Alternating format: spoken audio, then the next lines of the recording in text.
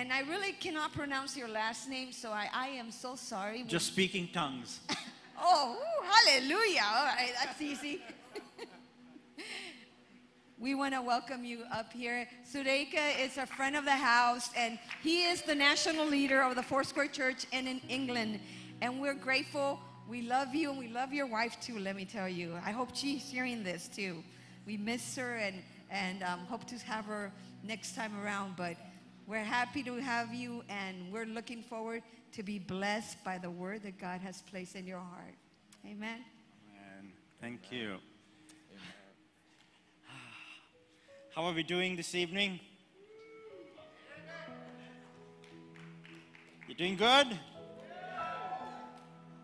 Excellent. Wow, what a beautiful name. The name of Jesus. You know, what a privilege that we have been given to use that name. We've been called by that name. We've been saved by that name. And you know, each time you speak that name, there is a prophetic anointing that is released. You know, Revelation says that, you know, the name of Jesus is the spirit of prophecy. You know, as you declare him, always know that there is something happening. Isn't that amazing? Wow. Hallelujah. You know, this evening, I want to share with you guys on being an influence, being a voice to your generation and beyond. You know, you are a social media generation. Am I right? yeah, everything's out there. And but you know, when you look at you know the influence that social media is making, there's good, but there's also bad. But what is God calling you in this season? What is God, what is God speaking to you as his son, as his daughter of this generation? You know, God called out Jeremiah to be a prophet to the nations. And Jeremiah was like, Lord, me? No, you got the wrong Jeremiah. He's the one on the next street. God does not make a mistake. You know, God does not make a mistake. He has not made a mistake with every one of you. I remember when, when the Lord spoke to me, you know, through a prophetic word, my first prophetic word. And the Lord said, I have a global vision for you. And I'm taking you into the nations. At that time, I had not, I had not even traveled out of Sri Lanka. I was not even married. And it just made no sense of what God said. Anyone got a prophetic word like that sometimes of, you know, make, you're, you're like, God, no, not me. Remember Gideon? Gideon was hiding and, and, the, and, the spirit, and the angel of the Lord said, Gideon, you mighty man of valor. And Gideon would have been like, nah, not me. but see, when the Lord speaks a word over you, treasure it, write it down, keep praying until it comes to pass. It may not make sense to you at that moment, but as you keep praying into it, as you keep opening yourself out, over a season, the Lord will begin to move you into what He has spoken. Remember Joseph. You know, when he received the word that he was going to be, you know, an influential man, he, the next moment he was down in a pit. And then into a, into a, into a, into slavery, into prison. But yet, each step was a step towards fulfilling the destiny God had for him. And even for you as, a, as, a, as, as your generation, I don't like the word next generation because you are the, this generation. Am I right? You are this generation that, that influences. But each step is a step towards God fulfilling what He has for you. Hallelujah. So, you know, don't forget those words that the Lord has spoken over you. don't put them aside saying, ah, nah, this is not for me. But grab hold of them. Don't let it go.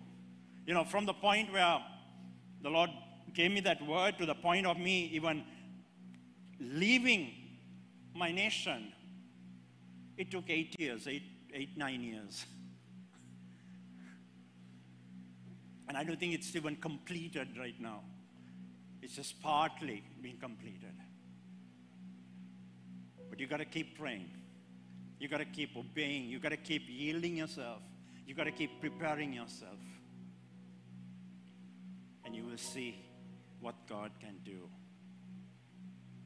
You know, you know, your generation is a generation that it's an exciting generation because there's so much of talent, there's so much of gifting within your generation. But there's also huge challenges. Much more than, you know, when I was your age, this generation has so much of challenges. And but yet, God is calling each one of you to be a voice to your generation. Not a voice that is influenced by the world out there, but a voice that will be influenced by the Spirit of the Lord. A voice that will be influenced and anointed by the Lord Himself. Amen. You know, this evening, let's, let's begin, let's go into Isaiah 60, 66 6.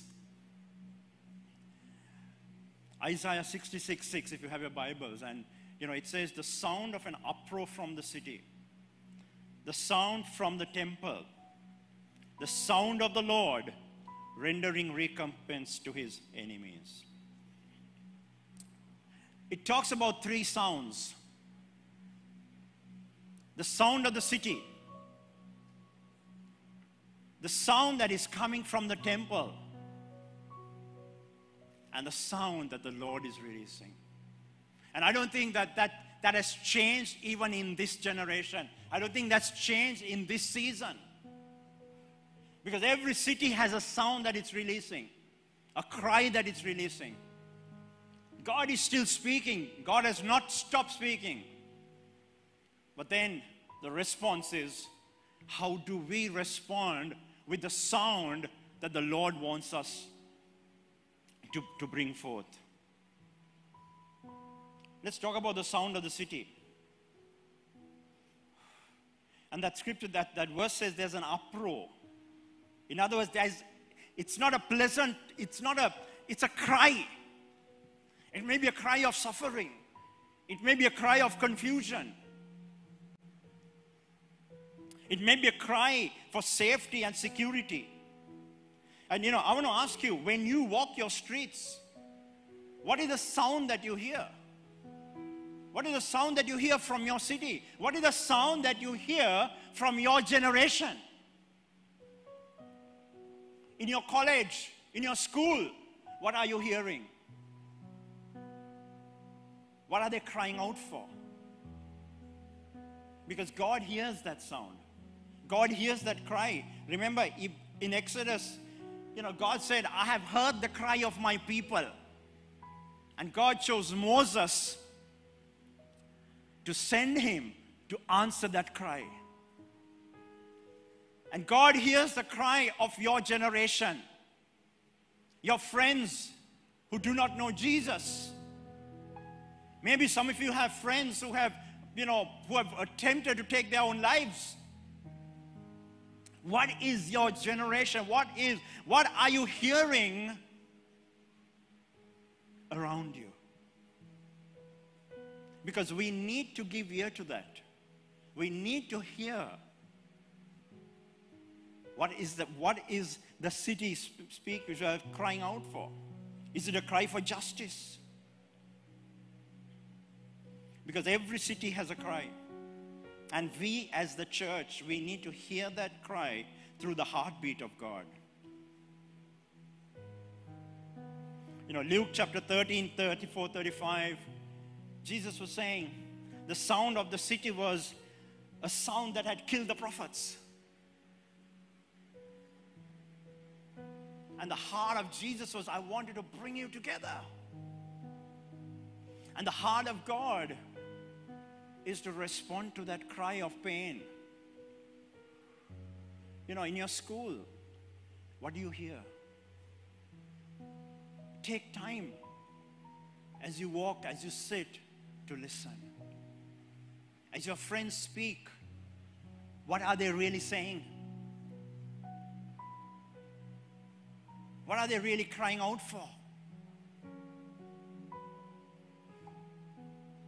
You know, sometimes it could be a cry saying, I feel orphaned.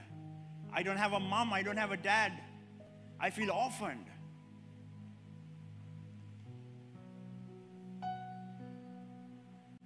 Cry of pain.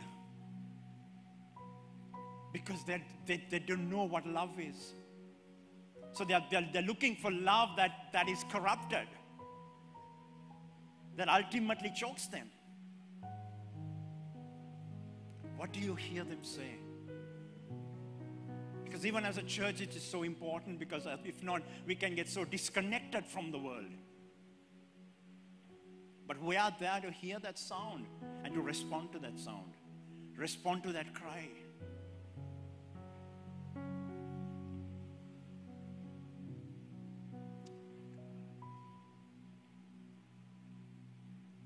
And we don't, we don't only hear the sound of the city.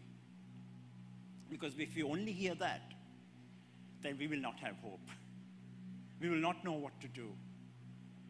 We need to hear what is the Lord saying. What is the Lord saying? What is, what is He speaking to each one of you? You know, sometimes our culture prevents us from hearing what is God saying. There's so much of pressure, isn't it? Sometimes even to say, hey, you know, I believe in Jesus is such a challenge. But yet you have something that the world needs. You have something that your friends need. I remember, this is about 30, 35 years ago, I, I tried to take my life. And I failed miserably at it because God, God, God's hand was on someone who saved me.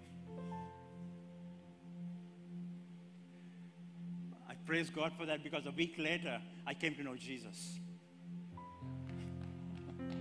Exactly a week later I came to know Jesus. But someone heard my cry. And that person reached out to me because I was, I, was, I was crying out because it was almost a situation with my dad.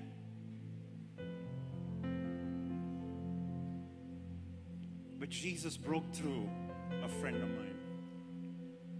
And I believe that, you know, many of you here, Jesus will break through through you to your generation, to your friends. If we say, Lord, help me to hear what you're saying.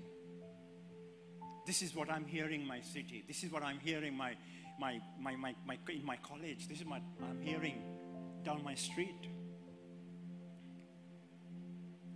But as you walk around, what do you hear? The next we read in, that text is that there was a sound from the temple. that there was a sound from the temple.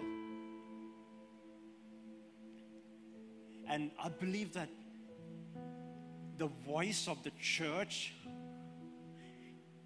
is being muffled through our culture.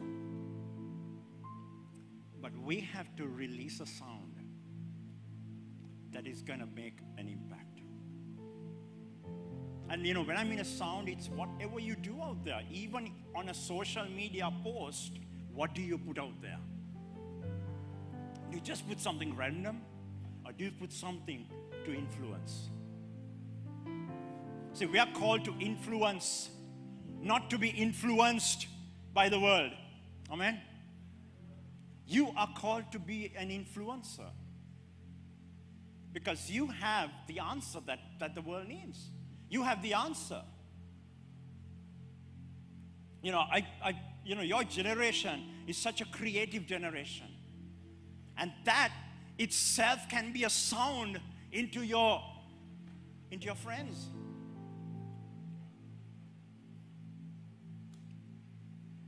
You know, during COVID, when the first um,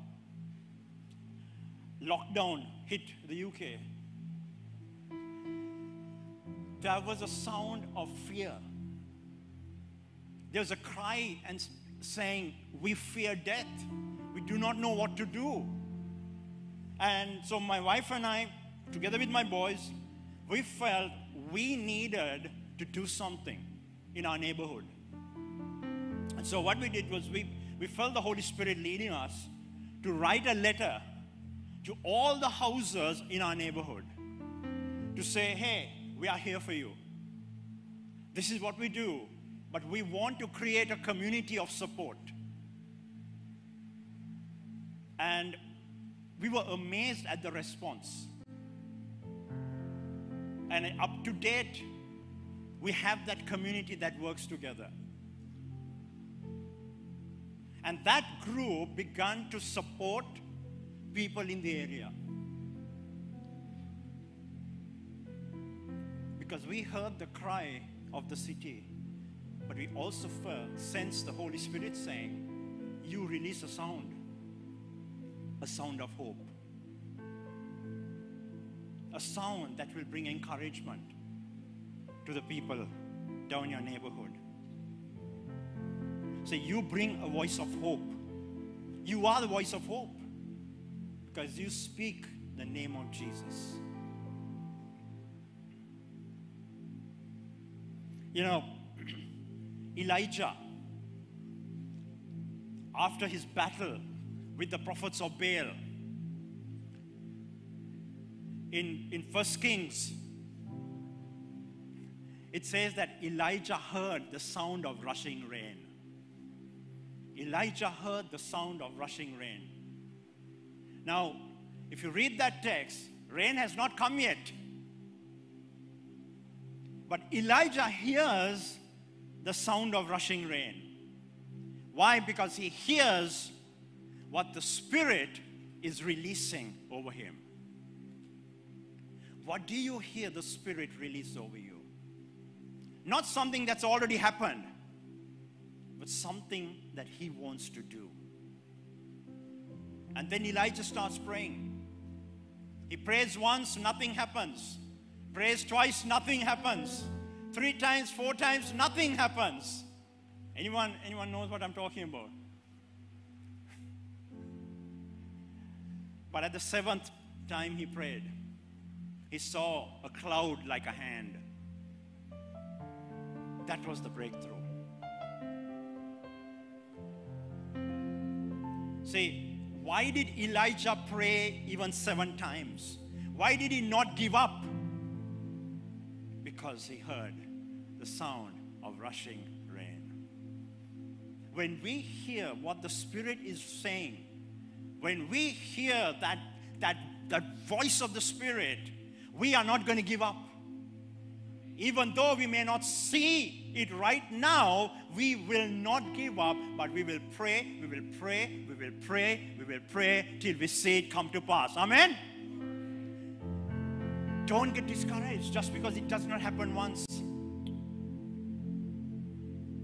Don't get discouraged and say, Well, you know, I don't think maybe, I didn't hear the Lord. If you heard the Lord, you know you heard the Lord. You keep praying. Book of Acts, chapter 16, Paul and Silas, they were thrown into prison because they, you know, they set a woman free and they were thrown into prison. And they could have easily, easily be like, God, we are doing your work and now we are in prison. What did they do? They were beaten up, all that. They didn't, they did not grumble and complain and, you know, murmur. But they started to praise the Lord. They were singing and praying um, and hymns, and you know, they were praising God where? Inside a prison. What were they doing? They were releasing the sound of the temple. They were releasing the sound that the Holy Spirit was giving them. And you read that text, there's a sound being released right now. what happens? The prison doors were open. The jailer and his, and his whole family, his whole household gets saved. Why? Because Paul and Silas released a sound of worship and prayer right in the middle of a prison. Come on, many of us are in a place where it's like a prison. And God wants you to release that sound of, of praise. God wants you to release that sound of prayer. He wants you to release the sound of the Spirit so that prison doors will begin to open. You know, you, when you read that text, there's an amazing miracle that happens. Not that the doors were open, none of the prisoners escaped. None of the prisoners wanted to escape. And I believe that the glory of God was right in the, mid, in, in the midst of that prison. And, and for those prisoners, that was freedom. That was freedom. You never know whom you would impact. You never know whom you would impact. See, what Paul and Silas did was that they shifted and changed the destiny of an entire household and an entire prison. Wow. By doing what? Releasing a sound. Releasing a sound. And the Holy Spirit did the rest. How many of you want to release that sound wherever you are? In your schools, in your neighborhoods. See, the easiest thing is to grumble about the neighborhood, to grumble about and complain about what's happening, right? Come on. But why not release the sound of heaven? Why not release the sound of the Spirit? It's great that we come together like this, but there's more to be done out there. What you, what you take from here is what you release out there.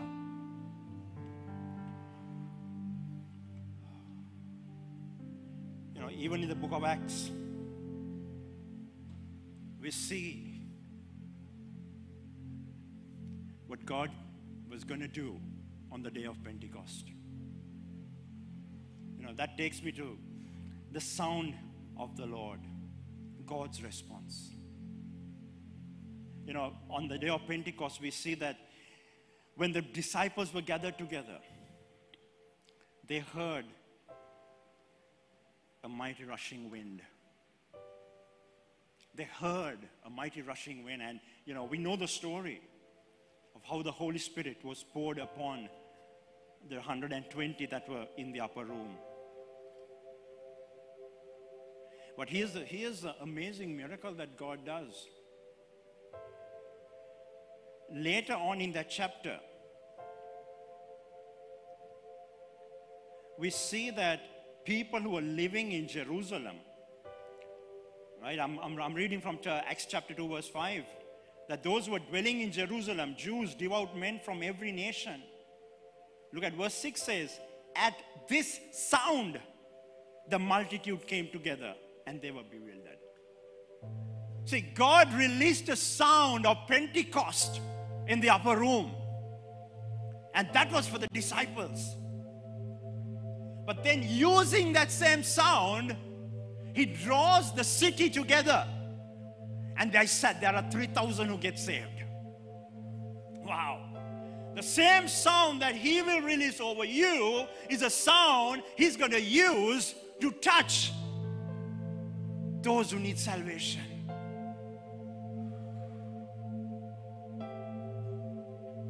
It's amazing what God, what God did on that day. You know, we, have, we always kind of hear about the sound of inside the upper room, but we forget the sound that was on the streets. We forget the sound that people heard and they were drawn. They were drawn to the upper room.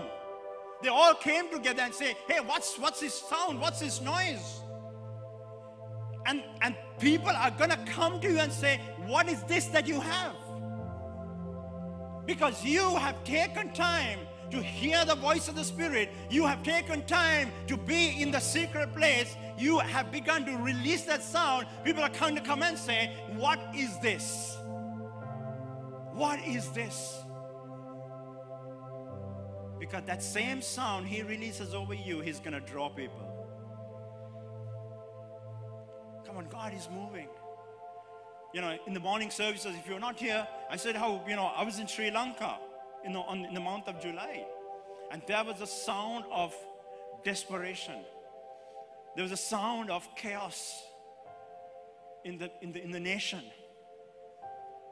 But God gave us a sound to release over the church wherever we went. And it was a sound of hope. And we saw people getting saved because, because people around us were not having hope at all. And they were open. You know, people of, of various faiths suddenly, you know, they, they, they were weeping. Let me, let me just give you one story. When we went, when we landed, I, I, managed to get an Uber, but for some reason my app got jammed. And and it was a very good price. And I'm like, no way. And then I felt the Holy Spirit saying, You go and book that taxi. And I'm like, That's double the price, Lord. But I felt the Holy Spirit saying, Go. Because God wanted me to be in that taxi with my family. From the point we got into that car, I felt such a stirring in me to start talking to the guy. By the time we finished, by the time he dropped us, I led him to the Lord. And he was weeping because the presence of God just came on this guy. So, what am I saying? Sometimes it may be uncomfortable. Sometimes it may be costly. But if the Spirit of the Lord is leading you, is giving you that voice, speak. Speak. The sound of the city, the sound of the temple, the sound of the Lord, God's response. Because the sound that God releases establishes the direction which we are to go. See, society does not, society is just desperate. And you and I, we have that sound to release.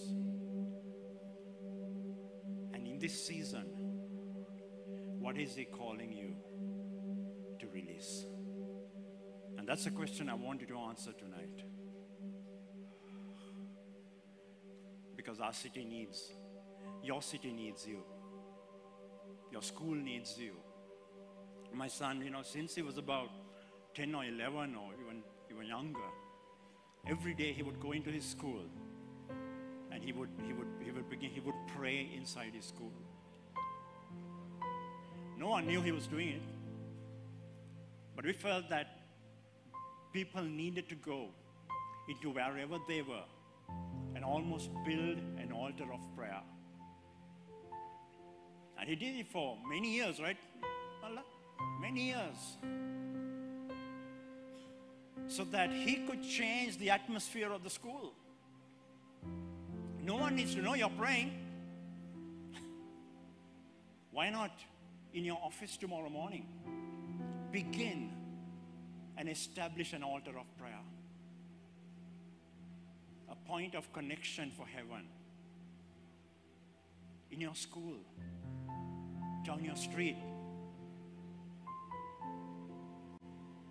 I remember many years ago, this was back in Sri Lanka, the Lord asked me to pray around our neighborhood. And faithfully, I did it for a week, two weeks, three weeks, for a month. And then it was like, ah, okay, maybe I can miss today. And eventually, I stopped. And I learned a lesson there. Because not a couple of days later, there's a guy who was shot and killed, not even 100 yards from my home. And I remembered, said, Lord, you asked me to pray, but I was not faithful.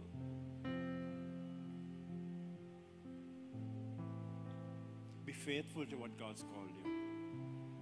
You may not see the answer, you may not see a fruit immediately, but as you keep sowing, as you keep sowing, those seeds are going to take root. And, and you're going to see, you're going to hear of things that may have happened. And you could then say, Thank you, Lord. Many may not know what you do, Spirit of the Lord is the one who calls you. And so tonight, you know, it's, it's a very simple message I, I bring to you.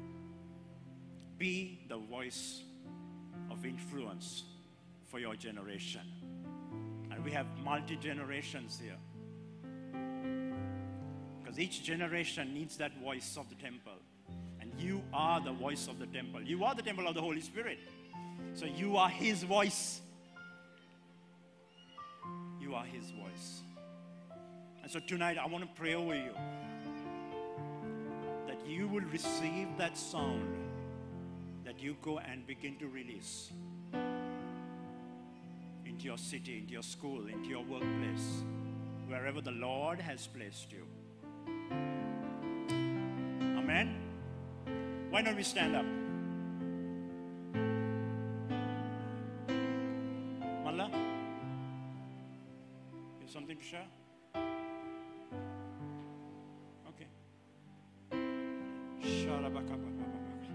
You know, if the Lord, if the Holy Spirit just tugs something in you tonight, can you begin to just respond to Him?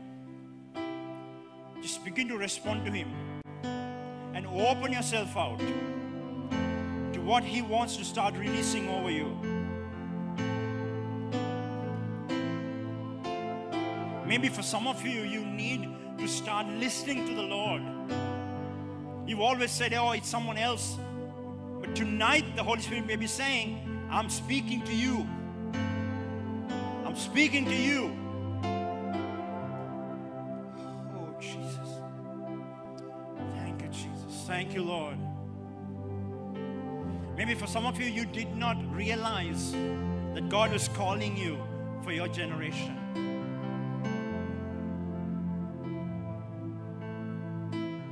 So just lift your hands to heaven right now.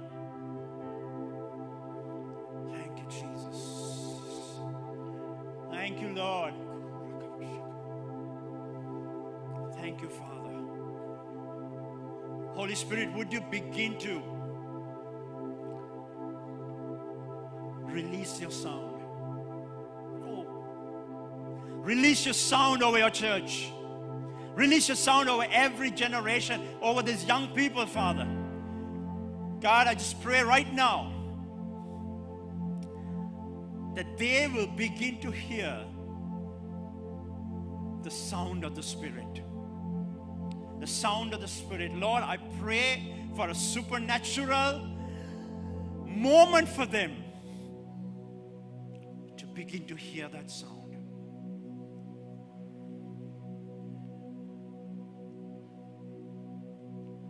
Lord, would you open their ears that they may hear what the Spirit is saying, what, what the Spirit is releasing over them. Father, I pray in Jesus' name, if, there, if there's anyone who's saying, No, not me, this is for you. This is for you. This is for you. Oh, Jesus. Come on, let's just, you know, pray in the Spirit right now. And, you know, even, even say, Lord, open my ears that I may hear you. Lord, give me faith to believe. Give me faith to believe, Lord.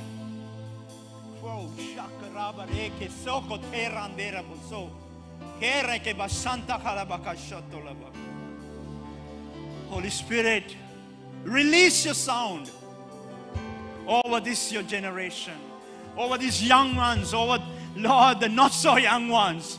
God, would you release that sound that as they begin to walk their streets, something supernatural to happen.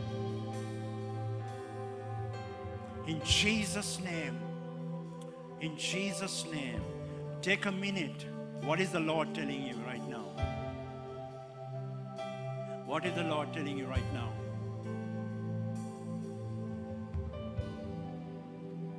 during worship and even as my dad was preaching, I was asking God, what do you want me to say to the young people in this room and just everyone? And I kept hearing, it's time to get out of your comfort zone. I kept hearing, like, it's time to move out of what you're comfortable with because that's the thing that's stopping you from going deep in the Lord. What you're comfortable with is just, okay, it's good here. But what God wants for you is so much more than what you're experiencing now. I saw a picture of two plates. One had like this big juicy steak, and one had just like one French fry.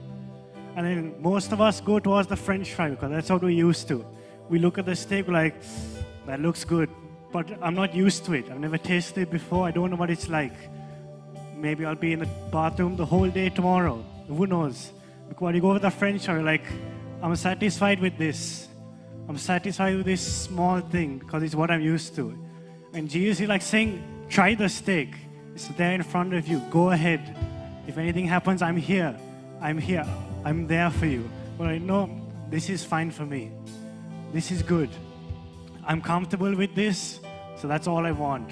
But Jesus wants so much more for you. He's saying you move out of your comfort zone. But sometimes I think something that have happened in our past, the way we've been brought up, things that have been spoken over us, it's like a wall. We can't get there. We want to. We want to be, we so much. We want to be deep in God, but there's something that's blocking us. And where we see a wall in front of us, Jesus sees like a. He sees nothing. It's like a brick for him. He can just like kick it over. There's nothing there for him to break. But it's just a step we need to take. As much as we say, God, give me more, it's not a chance for us to sit back, put our legs up, say, God, just give it to me. We have to sacrifice something in order for us to go deeper in Him. It's a two way street. Jesus can't just give it to us just because we say we want it. We have to actually want it for us to go deeper in Him.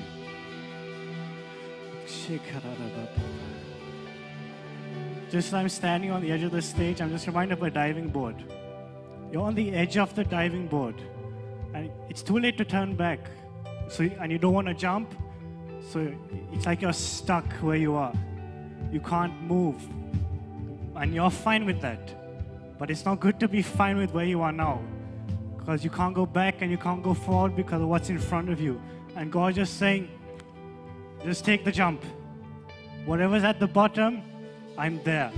I've got your back. You don't need to worry about the consequences because I'm there. Whatever happened in the past, that's the past. Don't bring it to the now. I died on the cross, so you don't have to worry about that. I just want to be with you. I just want to be close to you. I want you to be deep in my presence. I want you to have a hunger for me. There's, there's a hunger just all over this room, but there's room for more. You can never be satisfied when it comes to God. You can never be full because there's always more. He wants to give you more if you want more. That's what that's the key. You need to want it for him to give it to you. So even today just ask God, give me more, Lord. I'm ready for more. Give me more, Lord. I'm opening my heart. I'm taking away all my traditions, all my rules, all my fears, all my burdens. I'm taking it away. Just give me more. I want more of your spirit more of your power, more of your love to fill me today. I want to leave this place changed. Even as I go into school, into my workplaces, I want to be your vessel wherever I go. I want to be. I want people to come out to me and say, "Wow, there's something different about you. I don't know what it is, but there's something different I see in you today. I've never seen you before, but there's like a glow to you. There's a light I can see in you. And I want that. I pray for opportunities wherever we go, that people will be drawn to us, will be like a magnet, that people will see the Spirit in all of us, and that they'll just want it. But it takes a step of faith from us to want God to work in us. You might want to be on the big stages and to preach. That might be what God has spoken to you. But first, you need to let Him work in you. It first takes a step of faith and a leap of faith from you so that He can work in you. You have to open the door. He can't enter the house if the door is not open. He'll just be outside trying to get in, but you're like, sorry, I can't do that. You have to open the door. You have to take the step to open the door for God to move.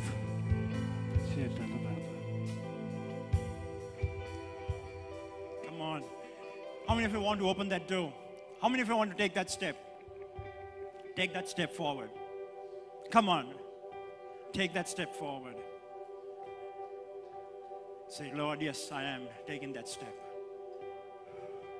Thank you, Jesus. Start praying for them. Thank you, God. Don't wait for someone else. It's your obedience, it's your yes that, that is going to release And what God is releasing over you. Thank you, Jesus. Thank you, Father. Thank you, God. Praise you, God. Praise you, Father. Thank you, Holy Spirit.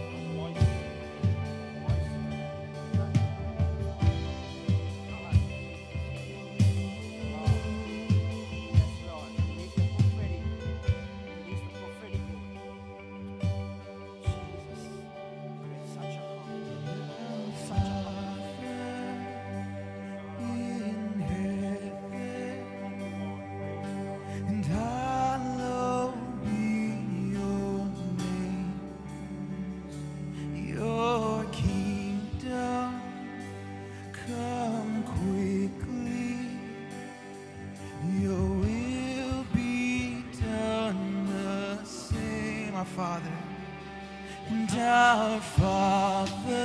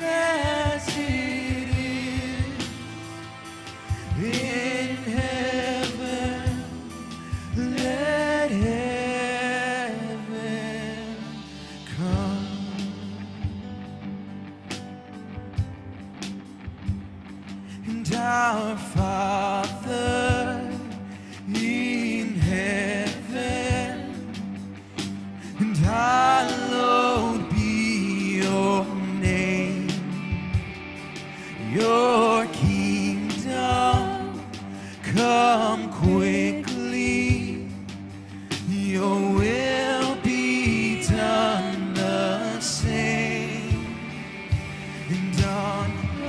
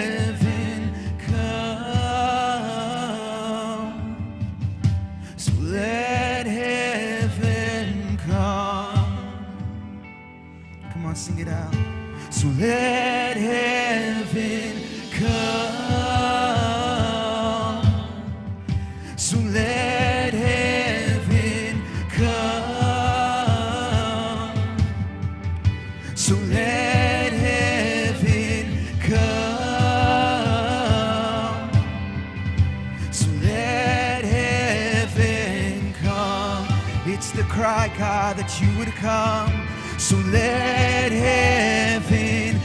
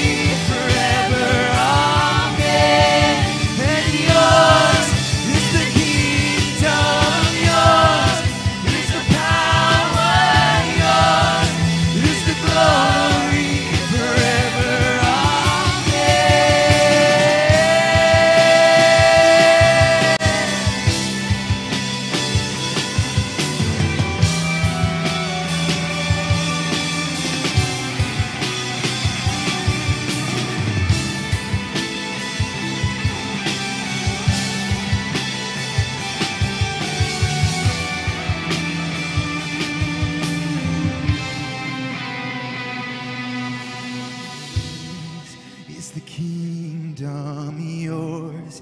Is the power yours? Is the glory forever? Amen. And yours is the kingdom yours? Is the power yours? Is the glory forever? Amen. And yours is the kingdom yours? Is the power yours? Is the glory? Yes, God, it's yours. And yours is the kingdom. Yours is the power.